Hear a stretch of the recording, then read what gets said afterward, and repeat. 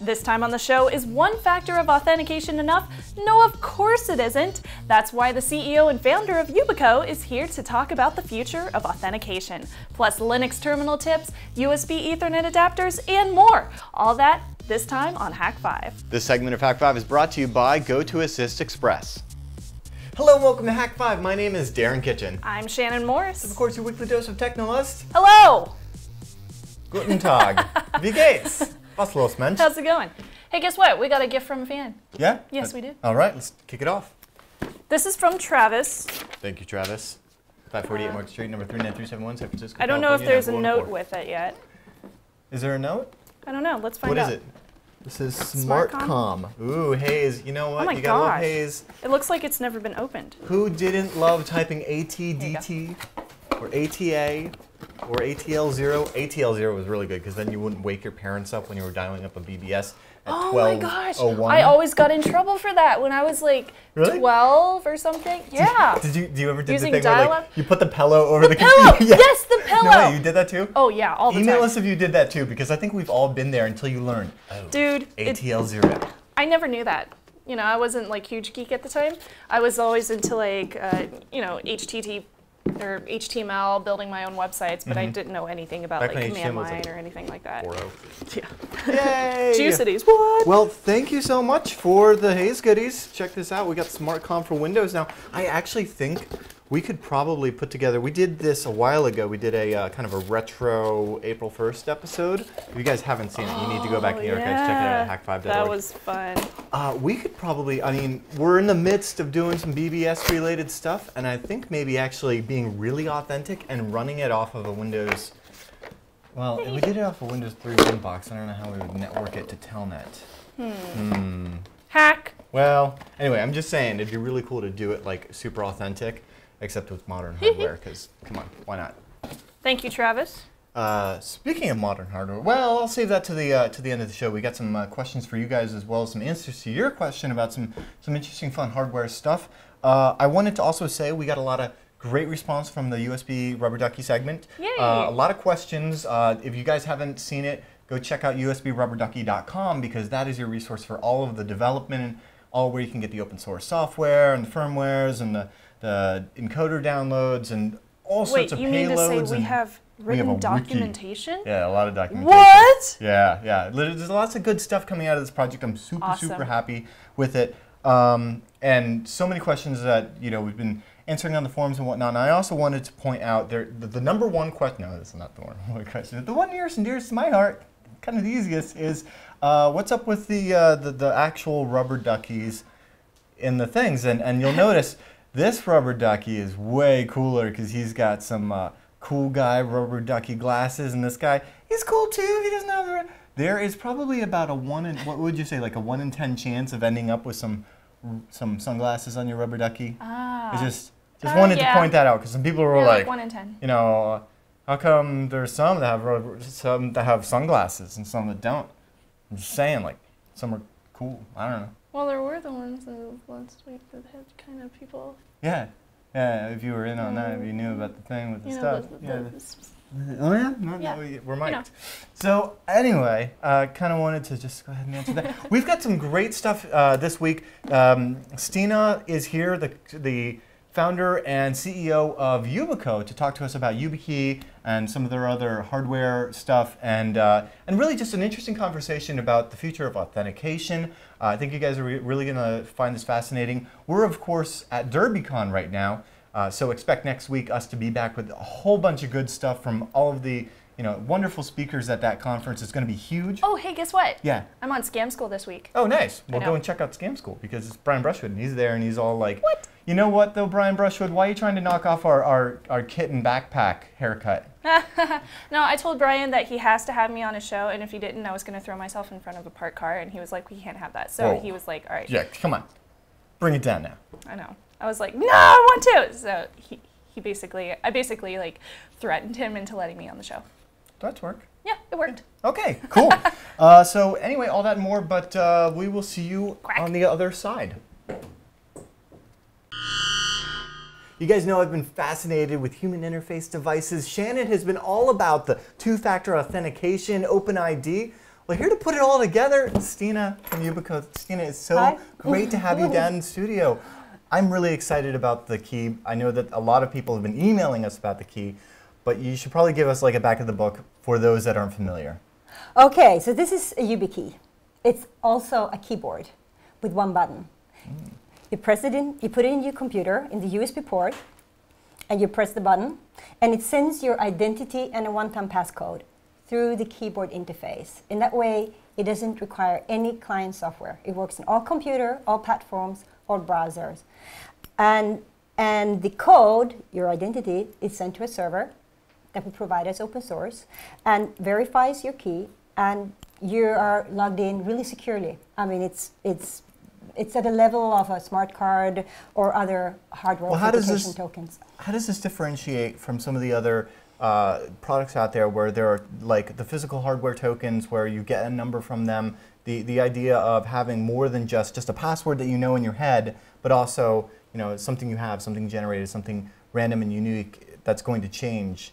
Uh, how does this di- differ from I that? mean, the difference the way that is automatic. You plug it in, you press the button, and you don't have to. You, we have blind people using it. Uh, with the most of the tokens available today, there are either six or eight digits that you have to retype, Mm-hmm. and they have batteries which fail, and they're a little clunky. This is really small. I mean, Yeah, I gotta say the design is, is quite nice because there's not actually a USB standard Type A plug or something. It's kind of all built into the Yeah. design, all molded. It's beautiful. It's two and a half gram, Mm-hmm. and it's all solid, waterproof, uh, and, and, and it fits really nice on a keychain. So the form factor is nice. Uh, the simplicity, I mean, the overall simplicity, just pressing the button instead, instead of having to But it doesn't just type your password because it's not for, oh, my password's so long and complex, I don't want to remember it, I'm going to put it on the YubiKey. It's for having multiple factors of authentication and also verification of your identity. So can you tell me about, a bit about how that works? Uh, so it sends out an identity, a 12-digit identity that's always the same, and then a 32 one-time passcode that changes every time you press the button. oh, so it changes every time you press the button, not like, is there a clock inside of it? No, but it uses the clock when you put it into the c- computer. Uh, it, there's no clock in there, so it's a, time-based. No, I mean event-based. Uh, but the, there is actually a clock uh, in the computer uh, that you can use. So uh, with a time variant code, you can press a button, you can perform a transaction, you can press again, and you, there that you can, you know, measure the time between the two presses Okay, to so get high, higher levels of security. So, I mean, aside from you know doing like a static password, you get the the two-factor of authentication there. What kind of other like do challenge and response, uh, OAuth? What, what kind of authentication are we talking here? I, I mean, we launched it th- three years ago, and we put out the code as open source, and we built a, a viral uh, open source community around it who came up with real great feedback. The first feedback was we wanted to use to be used with a static password uh, to work with TrueCrypt.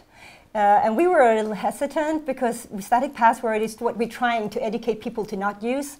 But with a long password, uh, you're better off with a short, easy one. So it, we've actually enabled the YubiKey. You can configure it to um, be used as a static password generator up to 64 characters. And then the, the community came back and said, we also wanted to work with Oath, which is an open authentication standard that Verisign has been driving. And we were also hesitant because it's, it's not as good because it's only limited to six or eight digits. oh, and it- really? And it doesn't identify the user. It's just so it's actually less security, but you know, we are very open to our community. So when eventually too many people had asked for it, we, we, we said, okay, now YubiKey works. You can reconfigure it to, to work with Oath. And then OpenID, of course, which is supported on a lot of different websites for you to be able to log in with, you know, one set of credentials, right? Yes, I mean the YubiKey is now supported by hundreds of open source uh, platforms around the world, and OpenID is one. Uh, SAML, it works with SAML, which is another uh, open identity standard, enabling one key, all kind of you know all kind of websites. Now, as far as like the consumer is concerned, say like, uh, you know, if you've been in an enterprise and you're familiar with having to have like a, a fob or a token that gives you a random number to log into, you know, your, your ridiculously complex VPN setup and whatnot. Uh, if you're just looking to do, you know, like on the consumer side of things, what, what would a consumer use to, to use this for like web services that they sign into? Uh, the most common used consumer application today is password managers. And there are, I can mention three, there are more coming.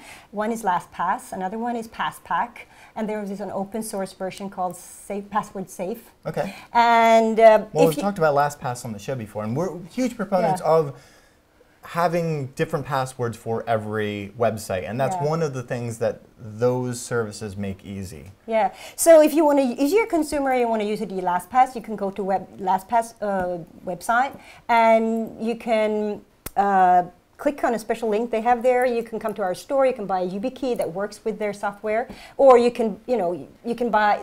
It, it's it's sort of integrated. Uh, they are supporting our hosted service. So any YubiKey you buy from us will actually work with LastPass. Well, tell me about your hosted service because you had a pilot server, and then that changed. What? Give me the story because this is so great.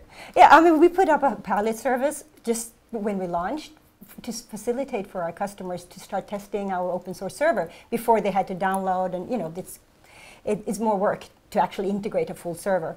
Um, and then we said very clearly, this is a pilot server, don't use it for production. and then Don't use it for production. And then Oh, we, we realized, because we only had one server, it went down. Yes. And hundreds of customers came back to say, hey, we can't log into our, to our work. We're using your server. And we say, okay, we have to duplicate it. So we put now five servers Mm-hmm. in different locations. But I didn't feel good about this Okay. because the YubiKey is dependent, the security on the YubiKey is dependent on one another thing. The, the encryption keys that goes to the server has to be secured. Or we'll, you know, what recently happened with RSA, there was a server that was breached and millions of tokens were compromised. So I, I had really, you know, I was. Yeah, it doesn't, it you doesn't matter how secure the mechanism so I is wasn't if the key sleeping very secure. well Yeah, when I felt, you know, we have these five servers out there and, and someone can hack in. We tried to do all kind of measures.